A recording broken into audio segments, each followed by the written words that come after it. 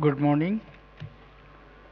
Dr. Raman Singh, Chief Minister of Chhattisgarh, Professor Prem Kumar Dhumal, Chief Minister Himachal Pradesh, Sri Vijay Bahuguna, Chief Minister Uttarakhand, Sri Sushil Kumar Modi, Deputy Chief Minister of Bihar, Sri Sandeep Somani, President, PhD Chamber, Sri Suman Jyoti Khaitan, Senior Vice President, PhD Chamber, Sri Sharad Jaipuria, Vice President, PhD Chamber, Ms. Susmita Shekhar, Secretary General, PhD Chamber, dignitaries, distinguished guests, excellencies, ladies and gentlemen. I am indeed happy to be here this morning at the Northern India Chief Minister's Conclave being organized by the PhD Chamber of Commerce and Industry. It gives me immense pleasure to share my thoughts with the political leaders who steer some of the largest states of the country and some of the captains of the Indian industry to discuss an issue of immediate and great relevance to all of us.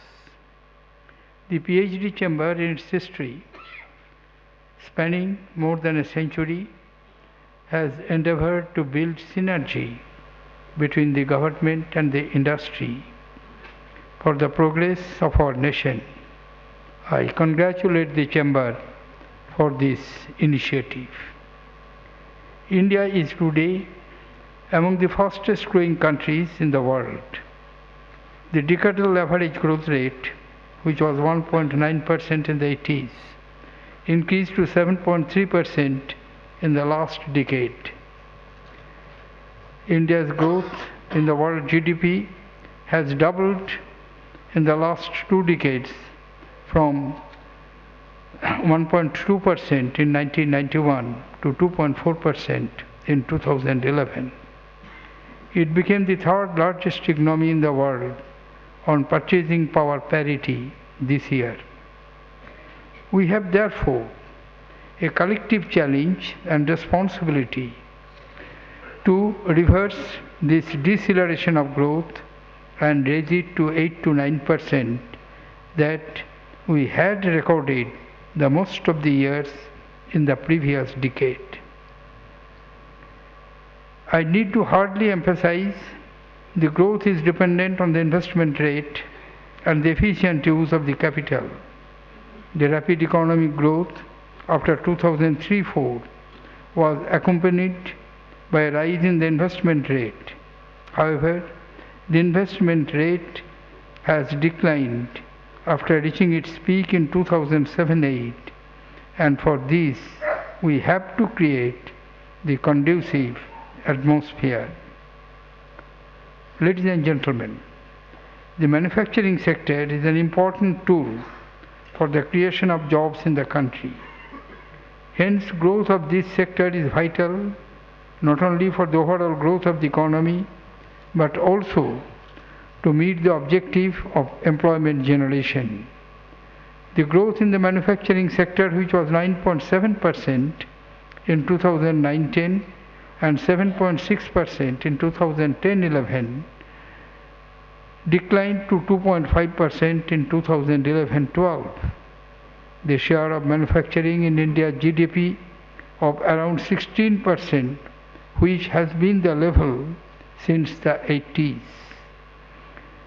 is much lower than the comparative figures in Asia, such as Thailand, South Korea, China, and Malaysia, where the share is between 25 to 34 percent of GDP. We have the advantage of a demographic dividend. The average age of population in India is below 30 years and over 60 percent of our population is in the working age group. This provides us with a unique advantage for driving future growth, but it could also pose a serious challenge of creating 250 million jobs by 2025. The national manufacturing policy that was announced a year ago has addressed the opportunity by aiming to increase the growth rate in manufacturing sectors to 12 to 14 percent over the medium term. In another decade, the share of the manufacturing sector in the overall GDP should be 25 percent. To increase the competitiveness of this sector, a host of remedial measures are necessary.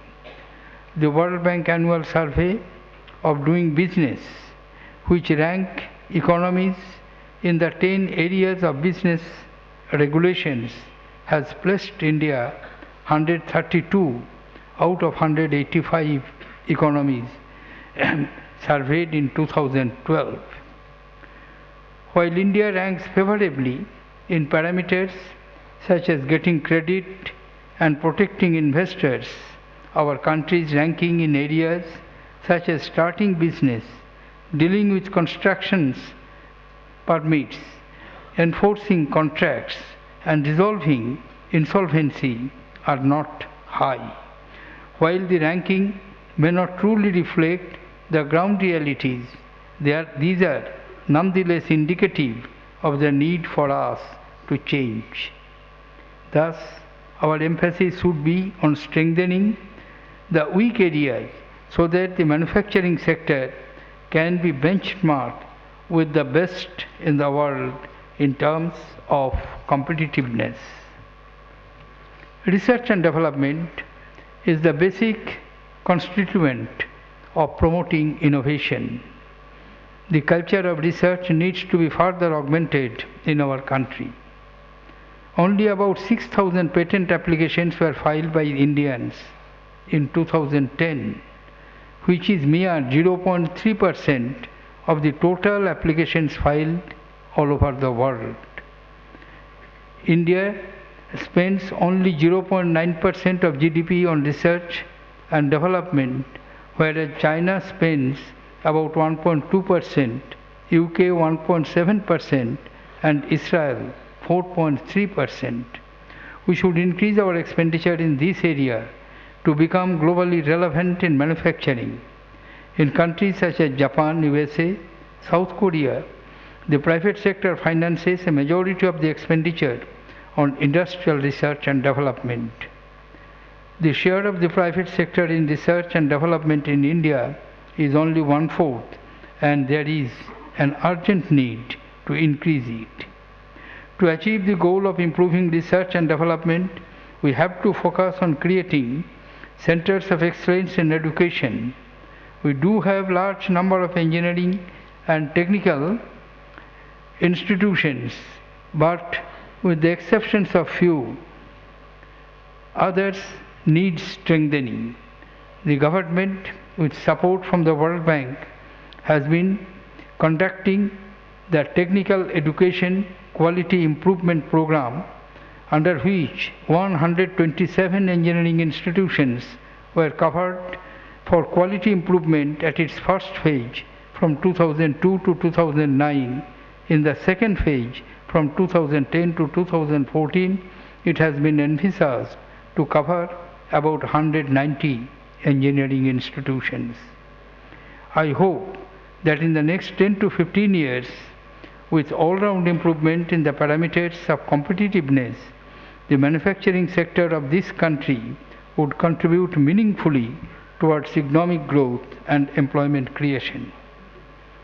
Ladies and gentlemen, growth in the agriculture sector is important for alleviation of poverty, promotion of inclusive growth, sustenance of the food security and generation of employment opportunities. The average growth rate in agriculture and the allied sectors during the 11th plan was 3.3% with 2.8% growth in 2011-12 which is the terminal year of the plan. To accelerate the overall economic growth rate from the current level, much higher growth for the agriculture sector will be required of say 4% annually as envisaged in the 12th plan period. Improvement in agricultural productivity would be important to accelerate the growth in the sector. Measures to improve productivity such as investment of high yielding crop, improvement in the seed replacement rate, use of high yielding hybrid seeds, improvement in water management practices and promotion of the balanced use of fertilizers and pesticides should be some of our areas of focus. We should also increase the technological base of our agricultural sector. As the finance minister, I had the privilege of outlining a four-pronged strategy as part of the Union Budget of 2010-11 to boost the growth in agriculture sector. The four components of the strategy were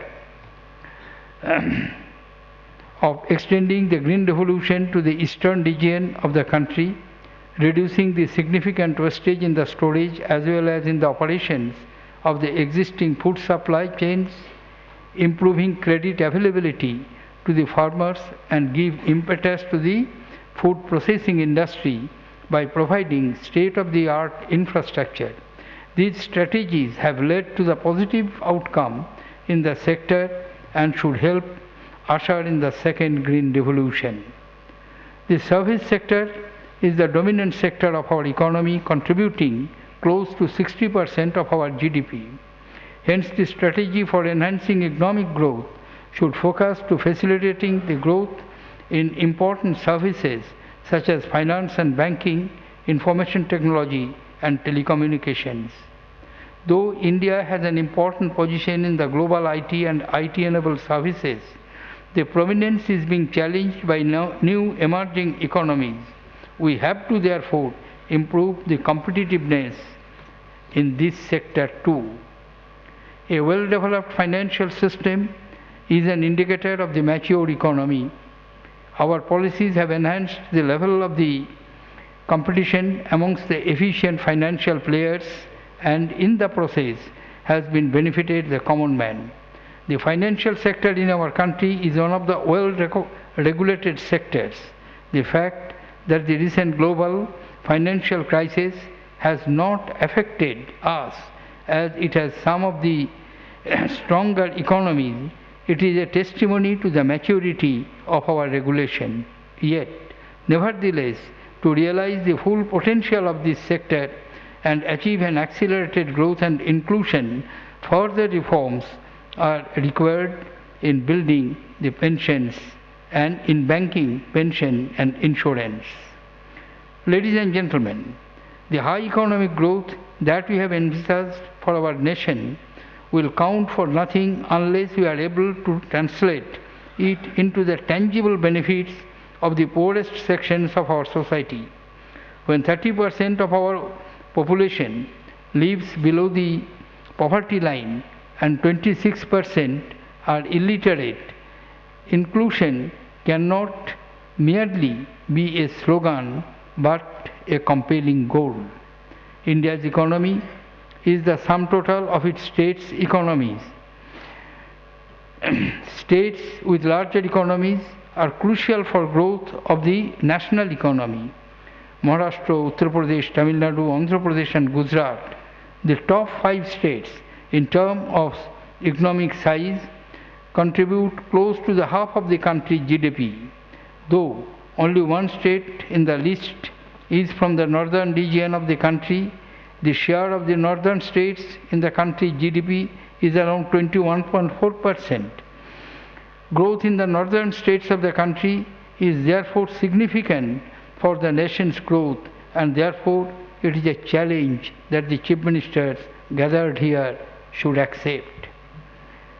Of the five economically bigger states, only Maharashtra and Gujarat grew by more than 8% in 2011-12 but there is a perceptible deceleration in these states from the high levels of the growth achieved by them in the previous two years. Amongst the states in the northern India, Uttar Pradesh and Punjab have grown at the rate of less than the average growth rate of the country in 2011-12. This needs to change. I am happy to note that among the states with the target economies, Delhi, Madhya Pradesh, Bihar and Chhattisgarh have registered growth of above 10% in 2011-12.